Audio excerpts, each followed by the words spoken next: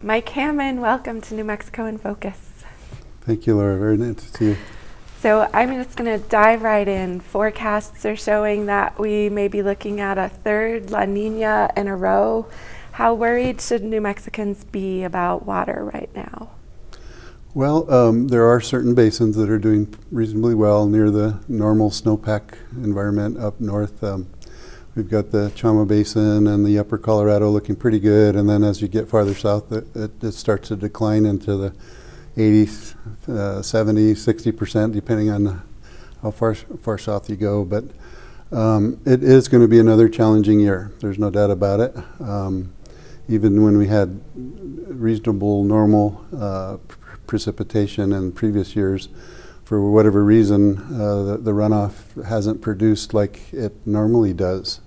And that seems to be true also in the Colorado River Basin where this, you know, we benefit from the San Juan Chama project and also the San Juan Basin itself has uh, a lot of water users that uh, rely on that supply uh, on that side of the basin. So uh, the Southwest is definitely shifting into more of a uh, post-climate change sort of world uh, from a water perspective. Yeah. So looking at the Rio Grande specifically, um, El Vado is is empty or empty-ish for construction reasons. We mm -hmm. look mm-hmm. at Elephant Butte is about 11% capacity right now. How much slack is there in the system? Um, when you refer to slack in terms of like meeting demands, um, uh, there, there's likely to be some some shortages. Uh, we've been experiencing shortages from the um, in the Rio Grande project from Elephant Butte for some time, and uh, we also had uh, had experienced some shortages um, from the the uh, Rio Grande ba Basin um, late in the summer last year. If it wasn't for the monsoons, uh, farmers would have really suffered in the Middle Valley for sure. Um, there's also been some shortages on the San Juan Chama project uh, to the mun municipal and agricultural contractors from that project uh, occurring on and off for the last five or six years. So, so we're certainly in uh, in a uh, they, they're calling it a mega drought. It's kind of hard to define that term, but it's persistent for sure. And, um, and, and then if you have kind of average rising temperatures, what, what, what uh, occurs in, in that situation is you have more depletions associated with every degree in average temperature rise requires more expiration by plants and, and the environment in general and evaporation from lakes and streams. So you're, you're having this situation where average temperatures climbing creates more depletions even on even if you had the same water supply, you're still seeing less availability Right. so we've seen problems on the lower Rio Grande play out in a sort of battle between states and also the federal government that's now in, in U.S. Supreme Court litigation. Looking toward the middle Rio Grande, are we within our budget, within our water rights, or could we see something similar play out in the future in the middle Rio Grande? Um, since since the runoff of 2019, uh, we've experienced uh, an underdelivery to uh, the um, Elephant Butte or Rio Grande project, as we call it. Um, as a result of, of the index uh, at Otowi gauge, we have to deliver a certain quantity of water. Um, and the irony of a very high runoff is that that means we have to deliver a very high amount. And that year, um, we, we underdelivered for the first time well, on average, uh, uh, consistently under-delivered uh, since 2019. So we find ourselves in a compact debit of about 120 some odd thousand acre feet, which we're taking steps to address uh, with a, with a uh, fallowing program. The, the uh, legislature agreed to a, a, drought mitigation fund that will allow us to try to catch back up and make, make our deliveries to Elephant Butte in order to not uh, get into a compact violation situation at 200,000 acre feet. So that's a top priority for, for me and the state uh, this year is to try to make some progress in making not only this year's delivery but also chip away at that debit. And meanwhile, El Vado's being reconstructed as you mentioned. Uh, so we're very hopeful that we chip away at that debit and then get El Vado back in place uh, for full use, and then we'll be somewhere near where we could operate in a normal cycle, I think. So we just finished up the legislative session, another year, kind of another battle over, um, you know, funding agencies appropriately, even with a record budget this year. Um, it feels like water agencies, environment agencies were not funded to the degree that they should be. What do you feel your agency is not able to do that you could do with a with a more robust budget? Well, first, I'd like to say that, that the governor was very responsive to our needs. Uh, she proposed uh, a pretty robust in increase. Um, the Legislative Finance Committee and the uh, House uh, Appropriations Group gave us um, uh, almost, you know, about two thirds of what the governor was recommending. Um, and then there was some really good progress throughout the session to add a little bit more uh, funding into our into our program. So we, we did reasonably well, uh, and I'm pleased with the response from the governor and also from the legislature this year. However, it didn't quite uh, go to the full uh, extent of our expansion request. Uh, we do have a lot of technical uh, needs uh, in terms of groundwater modeling and evaluations and making sure that we keep our systems in balance. We have our sister states that have, are, are have a robust degree of, of investment in their, their water resources and their staffing uh, that we are uh, negotiating with in the Colorado River and you know the Texas v. New Mexico issue um, and um, some of the other uh, work that we do with uh, our, our, our uh, surrounding states. So it's important for us to be very well uh, geared with highly technical staff and, and good resources for us to uh, essentially work through all the issues that we're facing.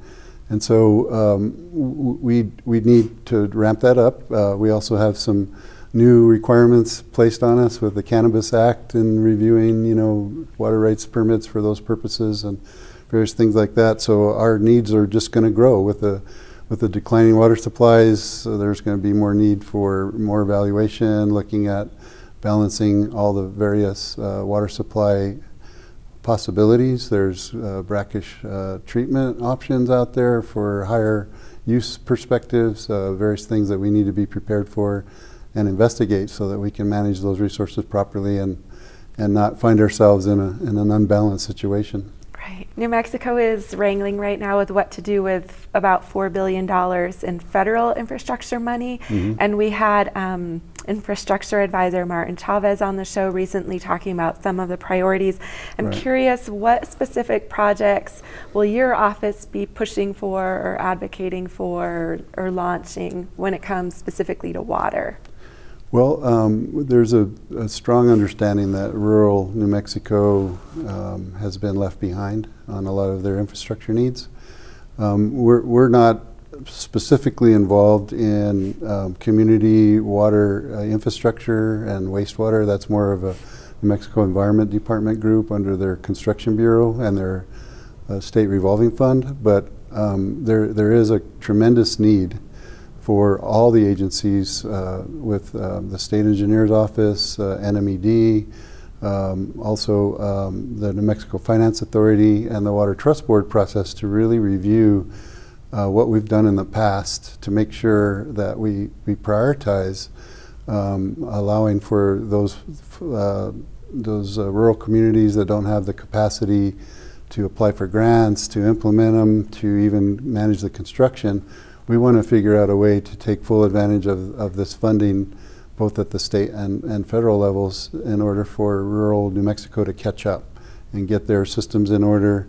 And on our end, we're going to be responsible for making sure they have adequate water rights and all of that stuff in, uh, for their 40-year water outlook, uh, like all other communities uh, that have capacity are able to do. So we want to reverse that trend.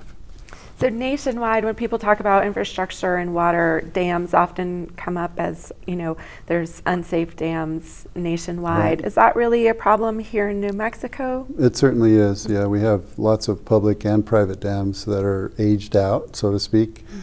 Uh, some of them are full of sediment. They have undersized spillways.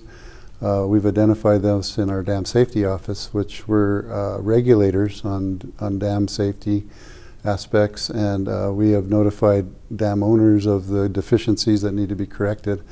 Uh, but there are funds available, and we're, we're, hoping to figure out a way that a regulatory agency can help um, move uh, some of these communities towards uh, fixing their problems. So.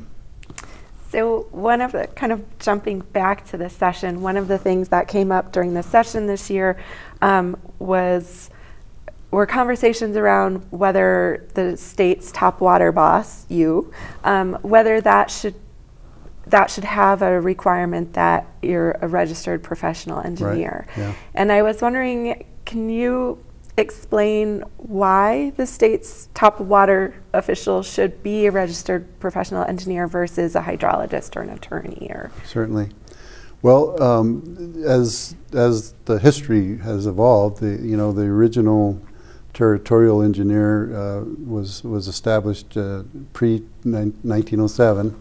Uh, that kind of set the, the, the priority administration rules up in, in this state for good or for bad. It's you know you could you could argue that um, in many different directions, but but that's the process that the state chose to to move forward on, and and they established uh, a, an extensive suite of regulations and statutes, uh, some 50 of them that we that I know of.